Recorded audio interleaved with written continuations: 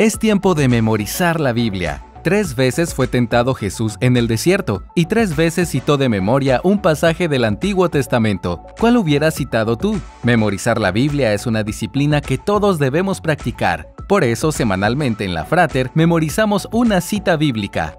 La cita bíblica a memorizar para la semana del 21 al 27 de agosto es, A los justos los guía su integridad, a los falsos los destruye su hipocresía. Proverbios 11:3. A los justos los guía su integridad. A los falsos los destruye su hipocresía. Proverbios 11:3. Esta fue la cita bíblica de la semana. Memorízala, medítala, guárdala y vívela. Encuentra en lacitabiblica.com el diseño y además el video con la cita bíblica de la semana, la cual se repite varias veces para ayudarte a memorizarlo.